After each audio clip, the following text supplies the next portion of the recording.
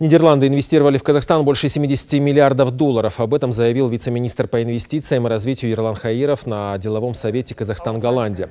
Королевство сохраняет лидирующее положение среди инвесторов. В Казахстане работает 950 совместных предприятий. Реализуют страны и проекты в нефтегазовой сфере. Одним из успешных примеров является сотрудничество национальной компании «Казмунайгаз» с голландской компанией «Shell». Королевство Нидерланды – это вот держава с крепкими историческими традициями бизнеса. Это основной хаб для нефтегазовой отрасли. Так как я сам представитель нефтегазовой отрасли, конечно, мы очень хорошо знаем, э, как работают Нидерланды в нефтегазовой отрасли. Поэтому для нас это очень хороший пример. И наше сотрудничество с компанией Shell – это яркий пример, как э, можно развивать э, сотрудничество по всем направлениям.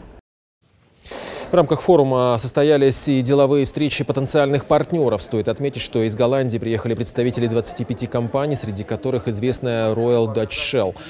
Казахстан представили Министерство по инвестициям и развитию и КМГ. Кстати, именно через холдинговую дочернюю компанию КМГ International, зарегистрированную в Нидерландах, нацкомпания осуществляет свою деятельность на зарубежных рынках. И в честь 25-летия сотрудничества Казахстана и Нидерландов сегодня был награжден медалью генеральный директор КМГ International Жанат Тусубеков и независимые директора компании. Стороны отметили, что потенциал для сотрудничества существует и в области инноваций, возобновляемых источников энергии и в водном хозяйстве хозяйстве. Отмечу, совместные проекты в области зеленой энергетики уже реализуются.